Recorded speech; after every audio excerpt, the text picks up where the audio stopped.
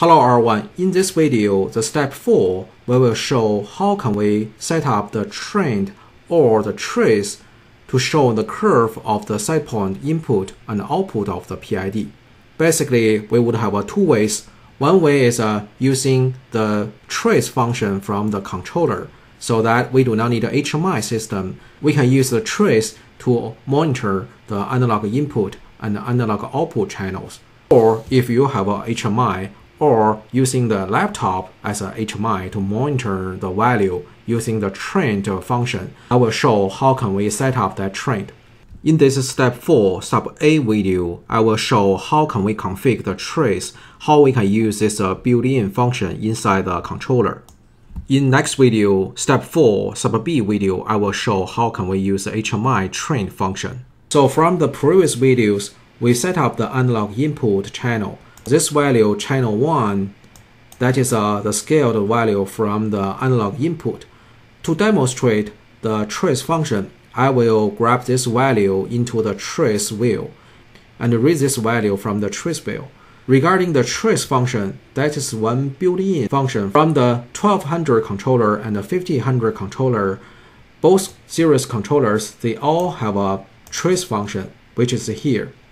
From the signal test purpose, we do not need to set up the HMI to monitor the analog and the digital signals. We just need to use the controller and use the TIA Portal software to monitor the values. Alright, let's see how can we do that. Double click this uh, add a new trace. And uh, we can rename this uh, trace. We can name trace analog. Okay. And uh, firstly, let's grab the analog we need to monitor. For example, we need to grab this analog input. And then we can also grab one analog output control, that is uh, this AO real source. Okay, those two values, one is an analog input, one is analog output. This is the signal source. And then let's go to the recording conditions. This is the sampling, how we can sample. This is one advantage from this trace function. As we can see, this is a time base that is uh, our cyclic or the interrupt of the CPU. So if we use this trace, actually the sample time could be very fast. Basically, every cycle time we can sample one time.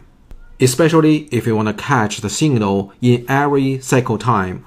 But in this case, we will only monitor the analog signal. For the analog input, actually, we do not need to too fast. So we can use a slow interrupt as a time base. Let's create a new cyclic interrupt. Organization block and select this uh, cyclic interrupt. Let's set a 500. Okay, 500 milliseconds. Select OK. So from here, we can name cyclic interrupt 500 milliseconds click OK. And this OB, uh, and this OB30, that is uh, 100 milliseconds, we can also rename this. That is uh, 100 milliseconds. Okay, we do not need to program anything in this uh, OBs because once we download those OBs, and uh, the controller will automatically run those OBs based on the cyclic time setting. For example, this is uh, 500 milliseconds. So every 500 milliseconds, the controller will run this OB31. So let's go back to the trace here. And this time, the sample, we will select this. Okay, we will use a 500 milliseconds as a time base if that is a one cycle, that means every 500 milliseconds we will sample this uh, analog signal. And if we want to use one second as a sample time, so we can select the two cycles. That means the one second will be used as a sample time. So once I select the two cycles, we can see the result. It will show one second. That one second, that is the actual sample time. And the recording duration, so we can select it can depend on the time or depends on the samples. This is the maximum records in the controller. As we know, this trace function, actually, this function is using the controller's load memory to store all those data. So it has limitations. which means if the sample time you set very short, for example, every cycles you need to sample one time, so that duration will not too long. But for the analog signal, if we set a 500 milliseconds or one second as a cycle time, this duration could be very long. That's why usually this trace function will be used as a troubleshooting or signal test wheel, will not be used for the data historical storage. Regarding the trigger mode, we can select this uh, recording immediately or triggered by a tag. Sometimes, if we want to start the record function uh, when the signal turn on, so you can select the second selection. But for the analog sample, we can select this uh, start immediately. Regarding this uh, measurement on device, uh, it will select if we want to store the data in the built-in load memory or the external memory card. So in my case, I'm not using the memory card. I'm using the built-in load memory to load the program. But uh, some special case, if we are using the memory card, you can use this memory card to record the measurement value. For example, if we go to this uh, program info, we will see for my controller, the load memory on this uh, controller, that is a 4 megabyte. For the Siemens memory card, for the bigger memory card, we could use the 24 megabyte memory card. That allows you to store much more data in that memory card. But most of the case, we could use the load memory. Okay, basically we configured all the things. If you recall, actually they are very easy. Here, we gather all the variables we need to monitor, and then we need to figure out the sampling time. And basically, that's it. And after this, let's shift to the diagram. And from here, that is a one empty page here. Currently, all those pages are still in our TIA Portal software. We need to download this configuration into our hardware. Keep in mind, all these traces are come from the hardware. That is a one built-in function into the hardware CPU. So let's click this uh, transfer the trace configuration to device. So with this download, the hardware will know there are two variables we need to monitor and trace in this trend. Currently, it's just offline. We download the configuration already.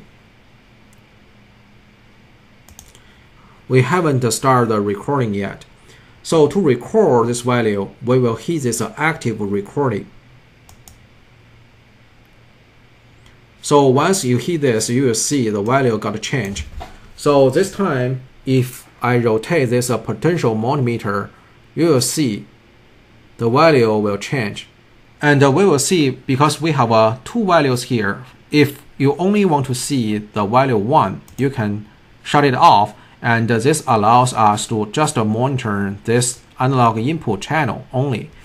And uh, the minimum and the Y scale, we can adjust that. For example, for this channel, that minimum range that is a 0.0 and the maximum value that's uh, actually the maximum that is a 6 volts. So we can type in the 10 volts here.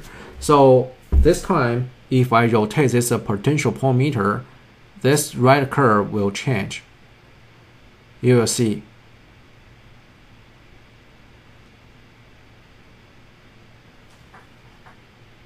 I will make it bigger.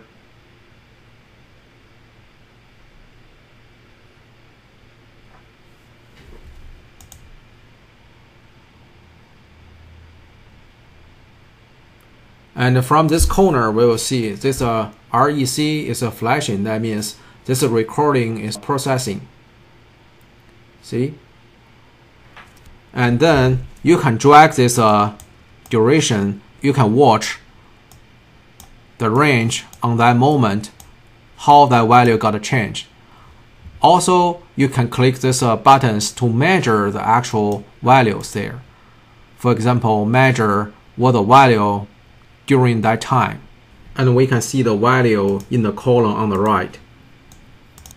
And you can click this 100%, uh, so it gives you an over picture and you can size this range. It's very convenient. Alright, this is the analog input. If we turn on this, so this is our analog output value. let me flow this uh, window and let me change to this uh, analog output channel value. And here, if I click the online, if I change the 50 to 30, we will see this value got changed and this trend will record this. And this is the trace function from the CPU. That is a built-in function from our hardware controller.